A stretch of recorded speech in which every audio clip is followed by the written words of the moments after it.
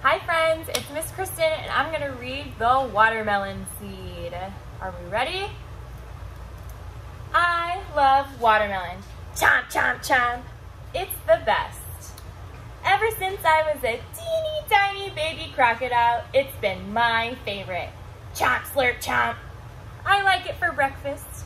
I like it for lunch.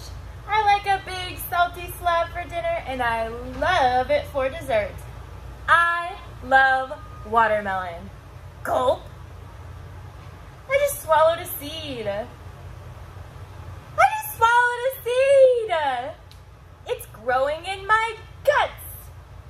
Soon vines will come out of my ears.